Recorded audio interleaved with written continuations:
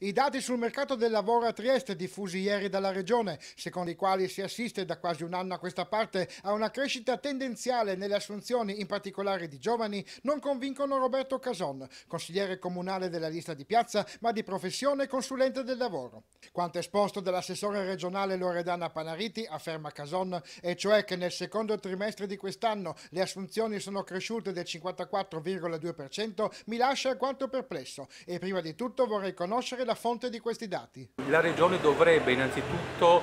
eh, dimostrare come ha ricavato i dati. I dati dovrebbero essere eh, illustrati eh, e eh, trasferiti dal, dall'Istat alla Regione. Io personalmente verificherò anche come consulente del lavoro, esercitando questa professione, se effettivamente questi dati corrispondono alla realtà. La percentuale del più 43% di assunzioni a Trieste mi sembra del tutto inverosimile, continua Cason, perché se ovviamente in linea di principio concordo con l'assessore sulla positività di una graduale riduzione della disoccupazione giovanile, va sottolineato che la soddisfazione deve discendere dalla esatta comprensione della natura dei rapporti di lavoro che si vengono a creare. Sappiamo perfettamente che dal momento in cui sono stati aboliti i voucher, questi si sono trasformati in contratti di lavoro precari, quali ad esempio il lavoro a chiamata, che prevede sem semplicemente una eh, comunicazione all'ispettorato del lavoro nel momento in cui un eh, dipendente deve prestare la propria attività